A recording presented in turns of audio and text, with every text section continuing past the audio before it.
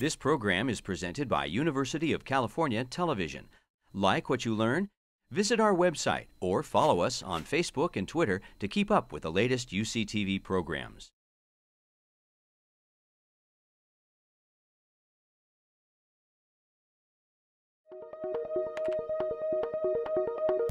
Next, on Up Next. We're actually more disapproving of adultery today than people were through most of the past, particularly of male adultery. For thousands of years, you were expected to just suck it up if you were a woman and take it as long as he didn't humiliate you too bad.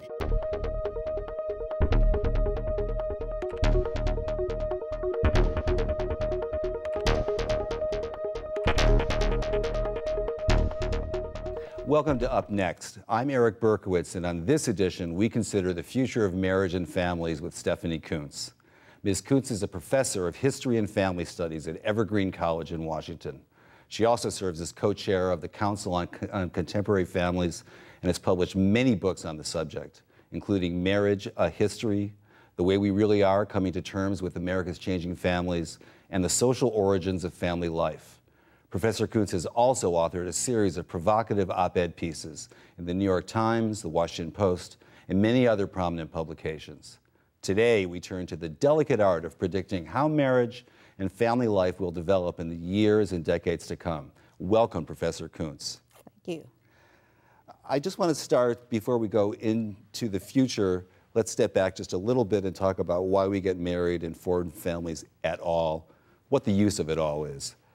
10 years ago, you wrote that marriage is the highest expression of commitment in our culture, and that a happily married two parent family provides an optimal in, environment for the raising of children.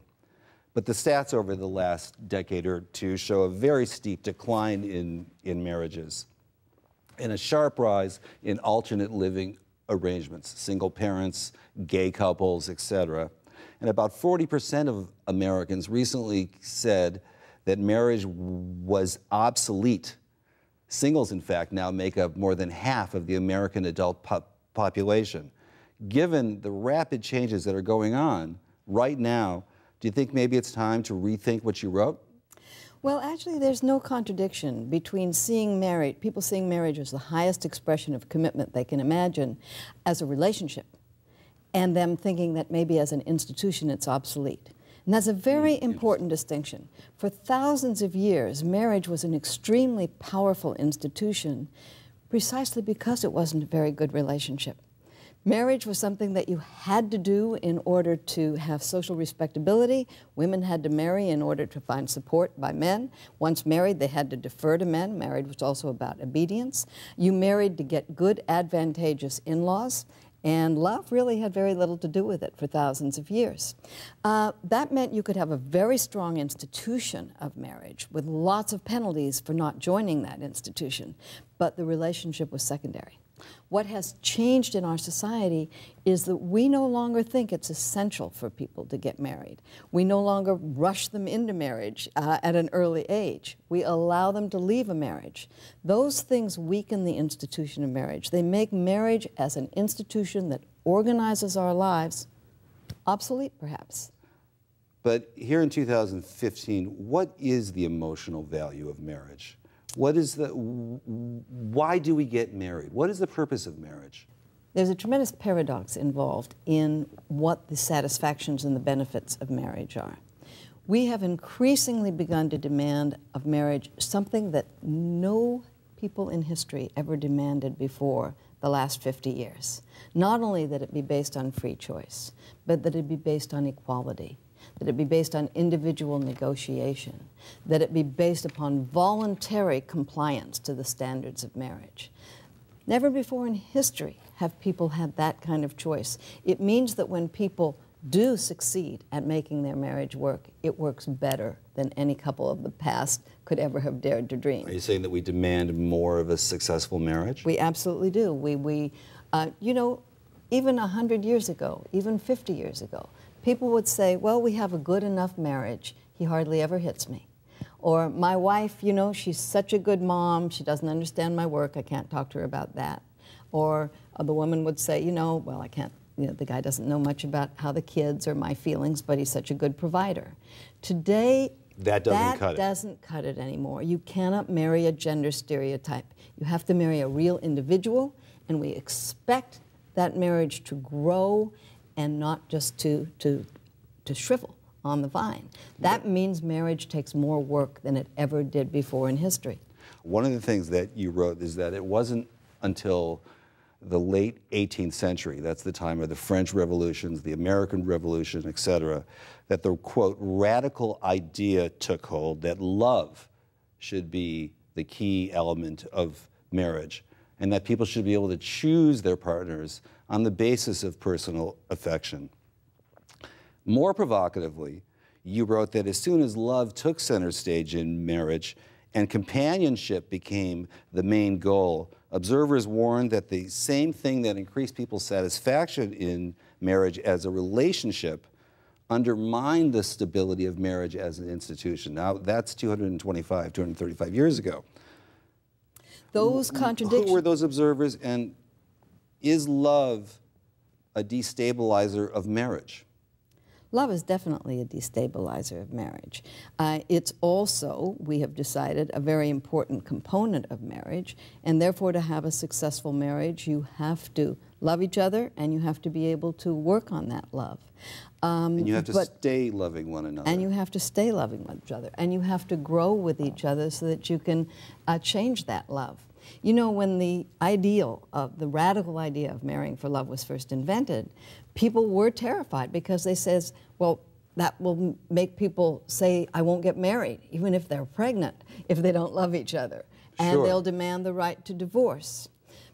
And so it was a very destabilizing idea. Every place the development of love as the basis of marriage has come, the demands for divorce have risen, and the demands uh, for legitimation of singlehood.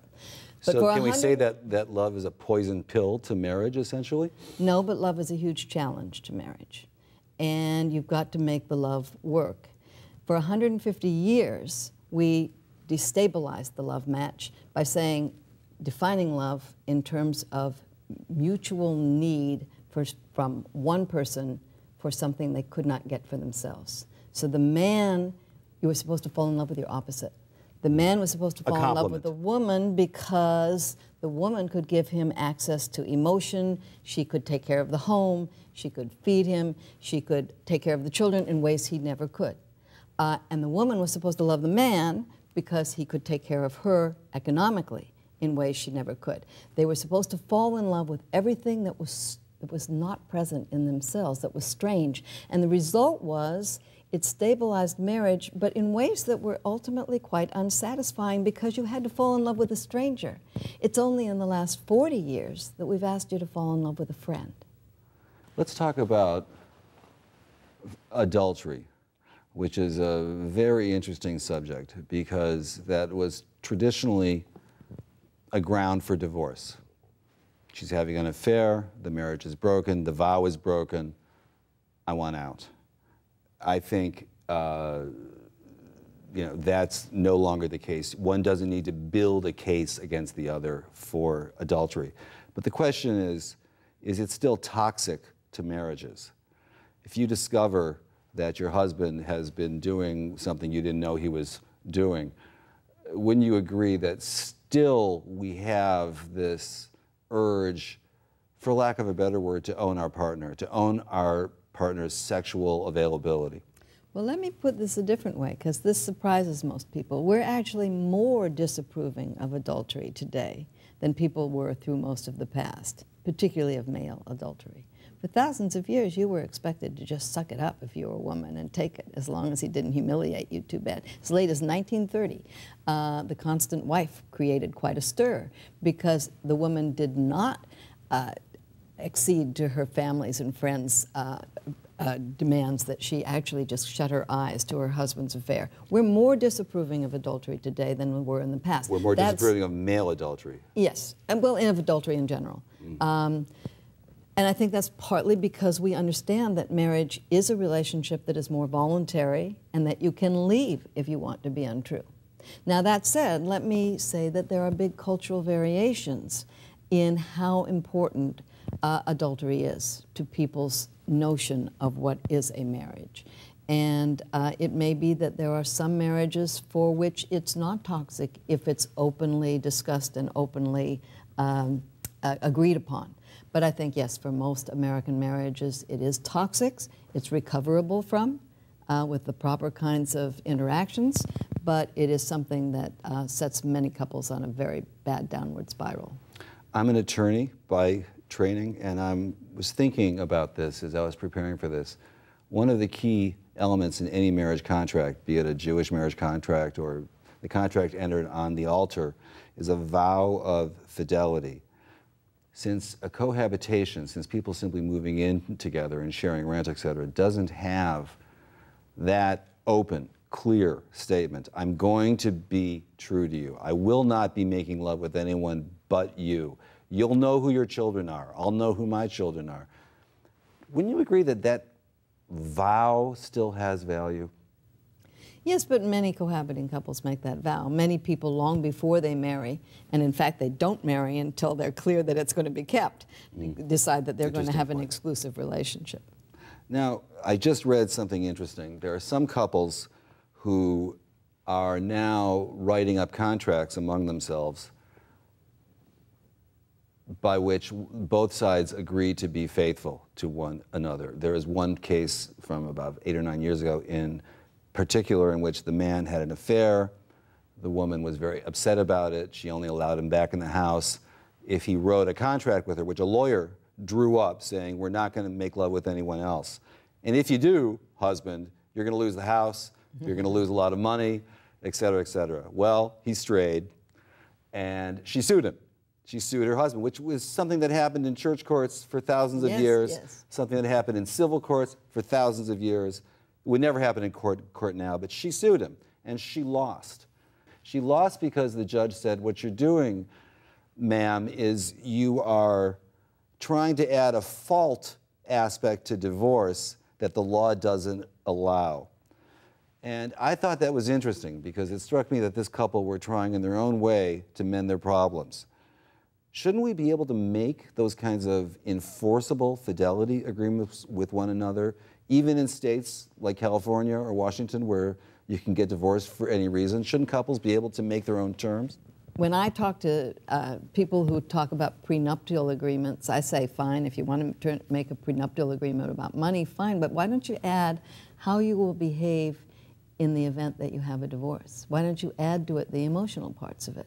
Now, that's not going to keep them from bad mouthing each other, telling secrets to the kids, or all these things that we know are so destructive and the main reason that divorce is harmful and to kids. And people that we respect do it, and we cannot believe it happens. But at least, at least thinking it through might be useful to people. What strikes me about these kinds of agreements and why I'm dwelling on them is they seem like efforts that people are making to replace the rigid social conventions that were used in days gone by to hold marriages together even during periods of stress.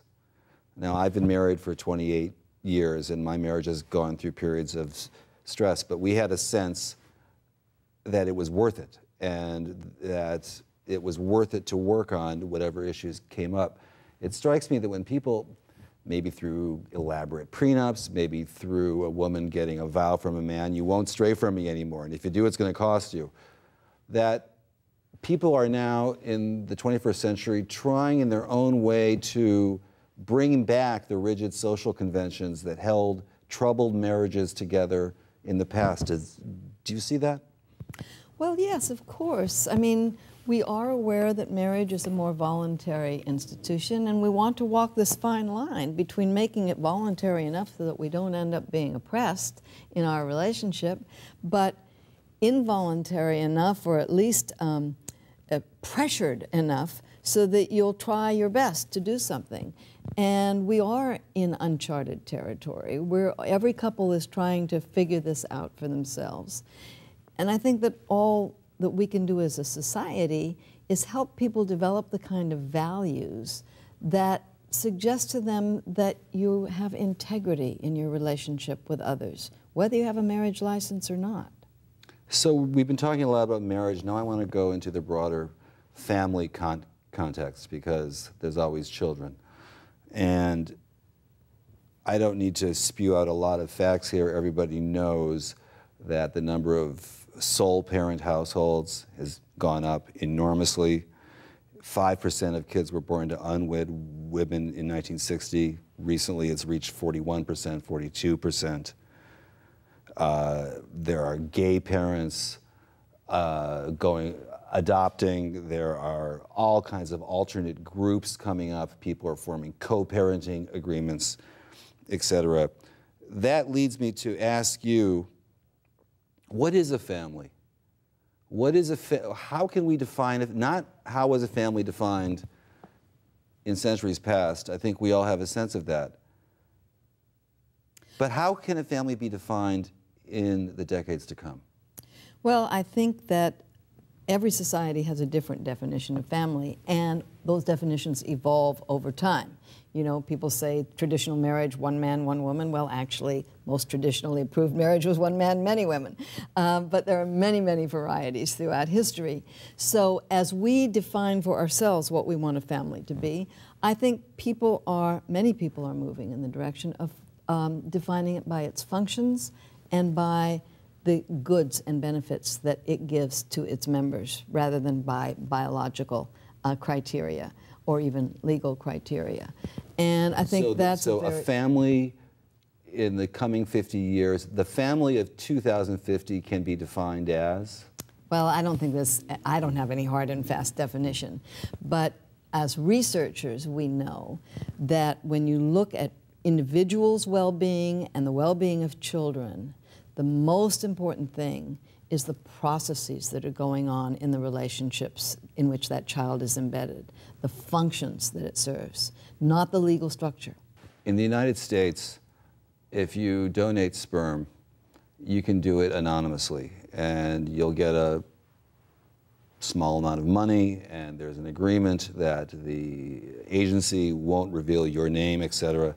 In Europe, it's not like that, particularly in France. the anonymity is almost non-existent. But there's now a phenomenon, given the decades of children being produced with that, of children now grown-ups looking for their half-brothers and sisters, searching for their genetic complements. And there are agencies who are helping them. And there's one agency who does that, asserts that, quote, we all have a fundamental right to information about our bi biological origins and identities. And that agency will, for a fee, help you find that. I thought that was interesting. One, because people still feel this urge, despite the science, to find a genetically similar person. And two, do we have a, some kind of right to know who donated the sperm that helped to create us? How do you weigh in on that? I'd like to weigh out of that. That's a very it's, it's a very complicated question that I think has to do um, that I would not want to put down one hard and fast rule for. One thing that we certainly know from research is that social ties trump biology. Uh, and not In everybody. Case, it seems the opposite. Well, but that's the point. Not everybody um, wants to search for their biological uh, forebears. Uh, when people do, how much of that is because of the way that we've idealized this kind of family? How much do they need to know? Now, they may need to know just for their own genetic heritage. We know that's important. I think that's one of the problems with anonymous sperm donors. You don't know what kinds of possible uh, relatives might even meet in, in the future. Precisely. I mean, if a man generates a child, he's going to ultimately, if he can be found, be required to provide some support for that child. If a man donates sperm anonymously for 50 bucks, he won't be. And that strikes me as a paradox that works to the detriment of the child, emotionally and perhaps even economically. Well, the, the I law mean, forces fathers to, and I think for good reason, own up to their fatherhood of children, mm-hmm. produced through sex. Yes. But not the case produced through artificial insemination. Well, and of course, um, it would be very, it would be impossible for uh, two lesbians uh, who wanted very much to have a child and are very invested in them to get somebody to be a sperm donor if they knew he was if he knew that he would have to then be responsible for the support of that child. So I think there is a uh, I think there should be some legal options for people to opt out of that particular kind of support in a sperm donor. Now, making it anonymous is kind of different because then you get into all of these questions of the genetic heritage and who's related to whom. And I remember reading about one man who donated so much sperm that you could have brothers and sisters, half brothers and sisters marrying each other. So it is very complicated. We've got to come up with some ways of thinking about it, but there's no way we're going to turn the clock back. Let's turn that around a bit. A man donates sperm and then decides that it's his child and wants visitation and wants to know his child. And, uh, uh, and how he says, You are my son, you are my daughter. Now, on a traditional level, that's true.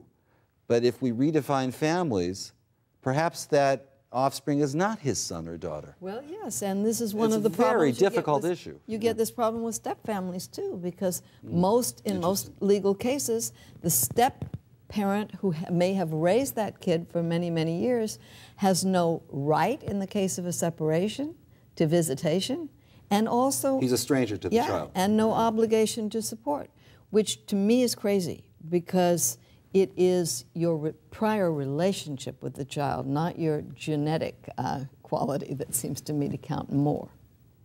you know, couples are also producing uh, zygotes, or excuse me, gametes that they freeze.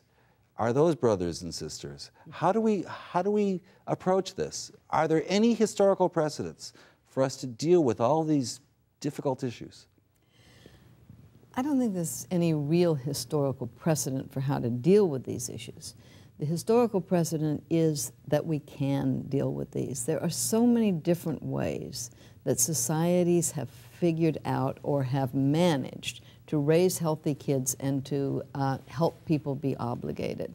Uh, for example, in um, Hawaii, where I sometimes uh, live, the, you they have this notion of a Hanai child. You give a child of yours to someone who doesn't have one, maybe a relative, maybe a friend. That Hanai child, you're not abandoning that child. You are offering one of the most valuable things you can to someone else.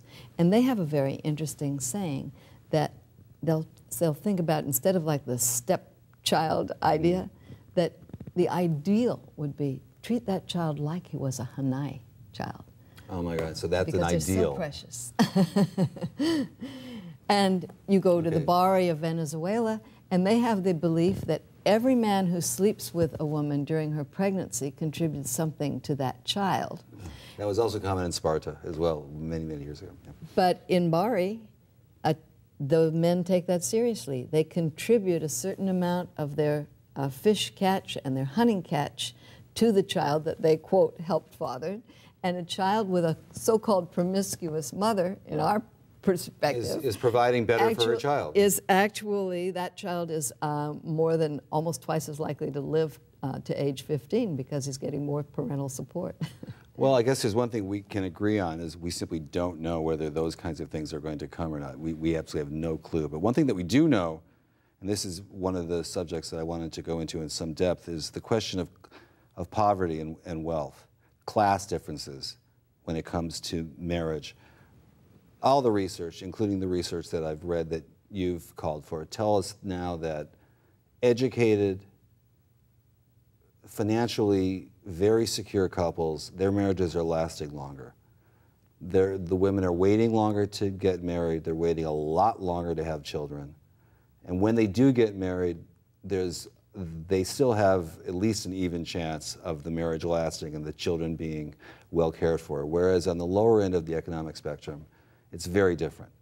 In 1950, if I was a young woman um, without a high school degree or even with a high school degree, I could marry just about any man who came along who was in my neighborhood, and he would be a better bet for me than trying to uh, go it alone.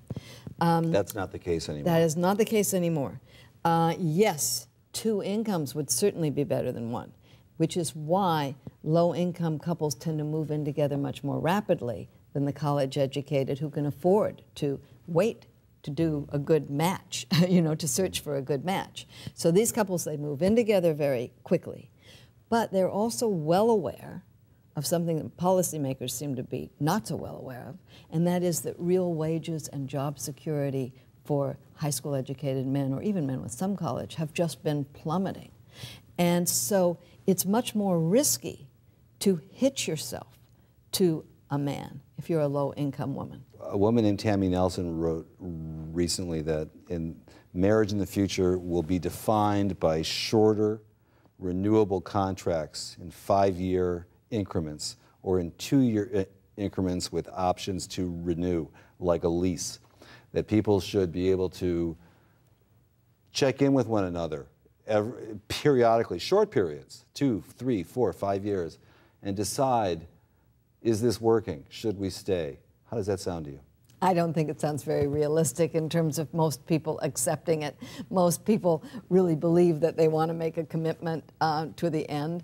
And um, I mean, is there something to be said for making a vow to one another to have and to hold, to love for 10 years? And well, then we'll see. But, but who knows? Rather that, than till death do us part. Yes, but who knows whether 10 years is going to be the critical point. What you really need to make a vow to do, and I think this is what flows from all these changes in marriage that we've been talking about, you have to understand that never before has marriage been so voluntary, and never before have we wanted marriage to be something we both grow in together rather than that one follows the other and adapts to them for the rest of their life. That means you have to be prepared to renegotiate it every time something in your life changes. We need to be talking about this right from the beginning. One of the things about Till Death Do Us Part, which is interesting, is that death is a much more distant event for us these days. It was easier to get married till, till the end when the end was 20 years hence. Yeah. if the end is 60 years hence, times change. So you're saying let's not go towards renewable leases, let's renegotiate and, and work on this daily. yeah, not a living will, but a living marriage. yes.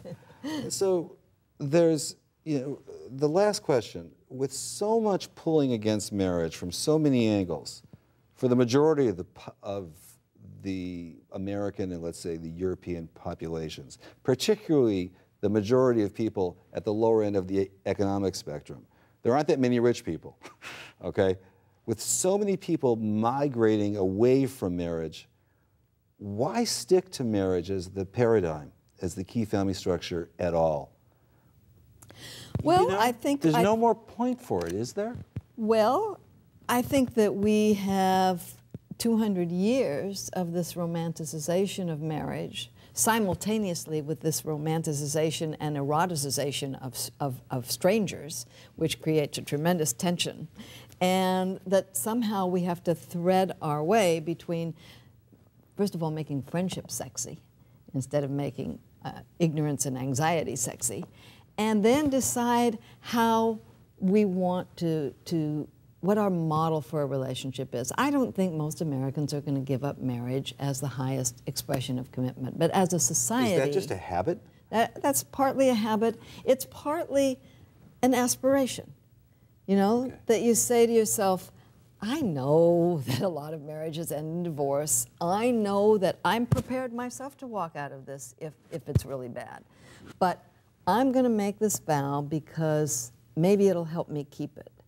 In that sense, I can see why people cling to marriage.